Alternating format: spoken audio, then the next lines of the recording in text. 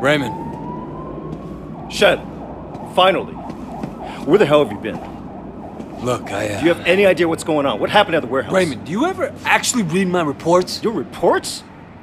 All I have to do is read the goddamn newspapers. They're calling it a massacre. If it ever came out that the police were involved, we're dead. It won't. Well, you can't know that. You at least, you at least could have turned Siwa over to us. It would have helped our case. That would have put the entire operation at risk.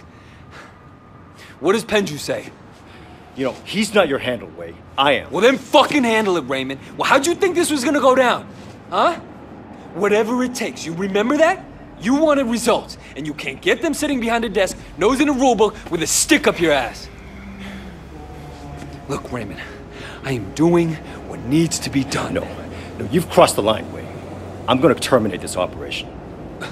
You can't do that. Pendrew won't allow it. Pendrew may like to take chances, I don't. And you are dangerous. Fine.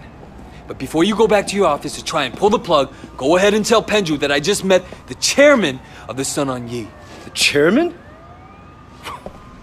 Wait, you're, you're just a foot soldier. Well, this foot soldier has just been marked for promotion because I made sure Suwa got out safely. It'll be in my report, and maybe this time you'll actually read it.